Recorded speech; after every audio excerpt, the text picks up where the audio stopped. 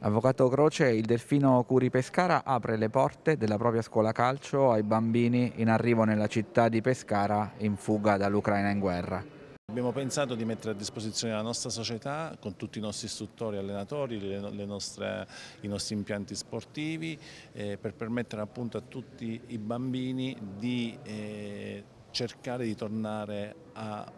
fare, ad avere una vita la più normale possibile e quindi eh, lo sport, il gioco e il, lo stare insieme ad altri bambini alla loro età sicuramente può aiutarli. Sappiamo che è semplicemente un piccolo gesto ma pensiamo che possa essere utile per questi ragazzi. Abbiamo sentito oggi che stanno arrivando ancora tante famiglie, come Comune di Pescara stiamo eh, gestendo abbastanza bene l'arrivo di tutte queste famiglie, ospitandole negli alberghi, poi molti vanno nel, anche in famiglie di amici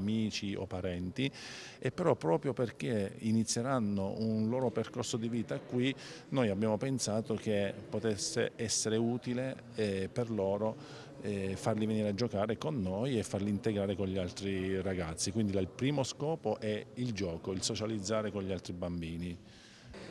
Antonio Martorella, socio del Delfino Curi Pescara, eh, il calcio veicolo straordinario per l'integrazione, per la socializzazione, quindi una bellissima iniziativa questa, portare bambini che scappano da una tragedia.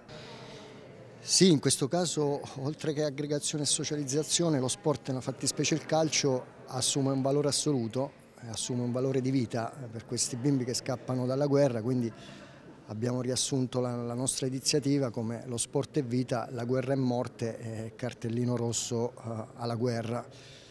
Eh, questo sperando di dare uh, una chance di, di, di recuperare la gioia di vivere a questi bambini.